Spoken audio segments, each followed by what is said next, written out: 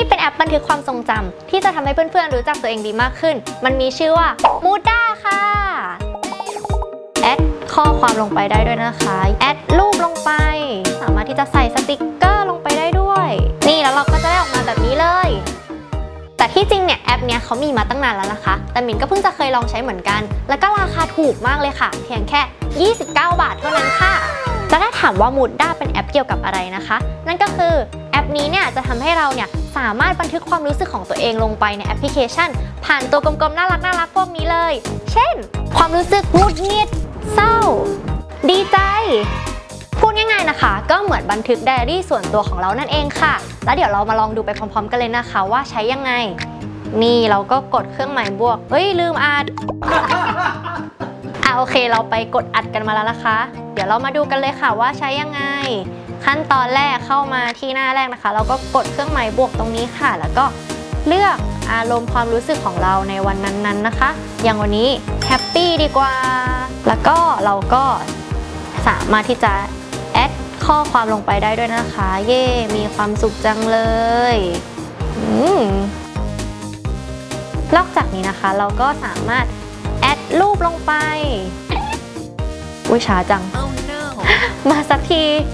นี่เราก็ลองใส่รูปของเราลงไปได้เลยค่ะ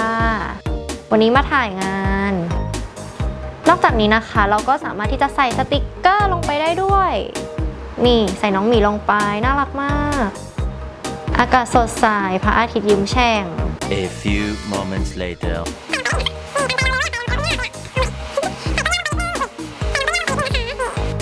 น่ารักมาก นี่แล้วเราก็จะได้ออกมาแบบนี้เลย นี่แล้วมันก็จะมารวมกันอยู่ในหน้านี้นั่นเองค่ะ แล้วถ้าเกิดว่าเรานะคะทำทุกๆวันทุกๆเดือน เราก็ยังสามารถที่จะย้อนกลับไปดูเดือนเก่าๆได้อีกด้วยนะ แต่ก็คงไม่เหมาะกับคนที่อยากลืมอดีตหรือเปล่าคะคุณตากล้องผมอยู่ปัจจุบันครับและอีกกิมมิกหนึ่งนะคะ ถ้าเกิดว่าเราเขย่าแบบนี้ นี่มันก็จะกลับมาเรียงสีให้เราดูเลยค่ะว่า เดือนที่ผ่านมาเนี่ยเรามีอารมณ์อะไรบ้างนะคะ แล้วถ้าเกิดว่าเราเขย่าอีกที ก็จะกลับมาเรียงตามวันที่เหมือนเดิมค่ะ แต่ถ้าเรารู้สึกว่าความรู้สึกเก่าๆเนี่ยมันแย่เกินไปนะคะ เราก็ยังสามารถที่จะกลับไปลบได้อีกด้วยนะ โดยการกดตรงนี้ค่ะ แล้วก็ลากไปทิ้งที่ถังขยะเลย นี่